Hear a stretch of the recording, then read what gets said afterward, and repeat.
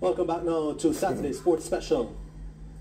Now, as spectators, coaches and athletes focused on the action at the Gibson McCook Relays, a somber mood filled the air at the National Stadium as the loss of legendary track and field analyst, author and commentator Hubert Lawrence occurred last night.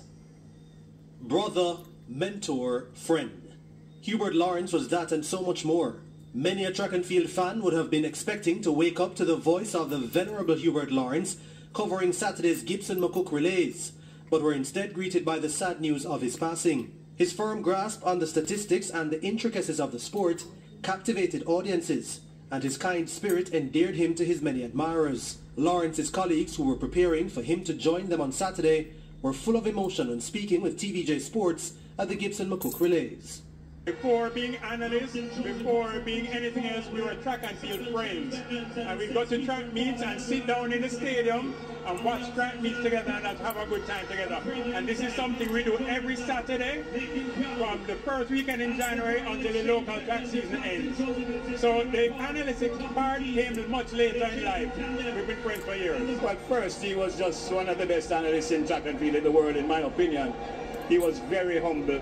And even though he kind of knew that we rated him, he never ever pretended or, or behaved as if he knew more than us. He knew that he had a role to play, and he played it brilliantly, but very humble, very, very nice person. And um, boy, can this this one really rough for me. I started covering track and field in 2015 when I came back to Jamaica. He worked would always take me under his wing. He brought me to the National Library to teach me how to do analysis, teach me how to do track and field coverage. And it, it's tough for me because he meant so much to me. He meant so much to all of us. And I'm doing my best to honor his memory because he always told me the key to being a great analyst is knowing the people that you're analyzing and doing the research. The last time I worked with him was by JC. And yeah, he was just in his element.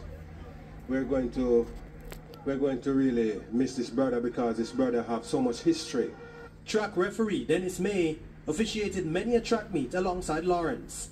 He was an, an incredible human being, service, giving of himself totally to the cause. Uh, such knowledge and freely given. He was the one who wrote all the citations for the Olympians at the Jamal meet that we that we every year and he was the one who read it. This year was the first that he wrote it and he could not make it to read it. I suspect maybe he was not well.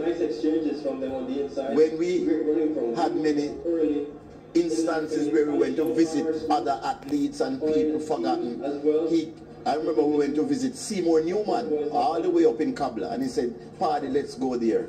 We had a friend, a fallen athlete who was, things were difficult. He said, let us go and visit. And that, that tells you the type of person that he was.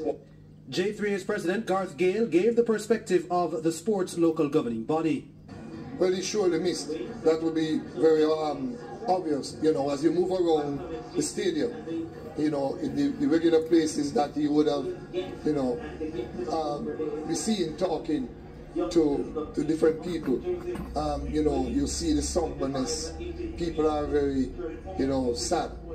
Um, past students of his alma mater also have, have shown their, you know, how sad they are of his passing. So for us, you know, we have lost an icon. And the Deputy CEO, Broadcast Services and Content at the RJR Gleaner Group, Dr. Claire Grant, remembered Lawrence fondly. Hubert has been a part of us, especially on this journey for sports, we have focused on track and field.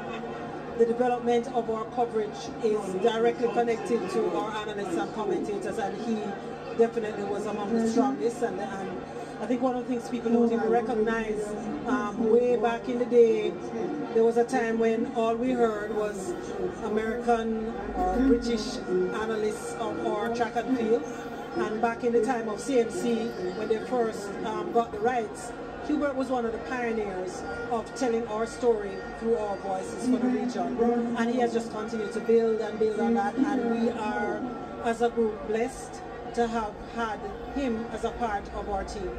It's very difficult. I mean, knowing what we heard last night and that we had this morning to come and do this without him, it was evidence of the boy that we, we, we feel it. We feel it not being here. Since his involvement in track and field, Lawrence, who was a columnist with the Jamaica Gleaner, wrote and co-authored three books to include Champs 100 in 2010, The Power and the Glory, Jamaica in World Athletics from World War II to the Diamond League era in 2012, as well as 50 Days of Fire in 2022.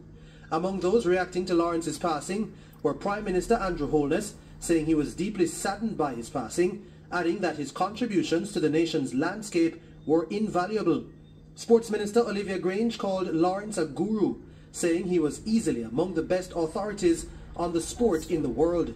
Eight-time Olympic champion Usain Bolt also posted a message to his Instagram story, which simply read Hubert Lawrence with a praying and dove emoji. Lawrence was 63 years old. And all of us here at the RJR Gleaner Communications Group express our condolences to the friends and the family of Hubert Lawrence.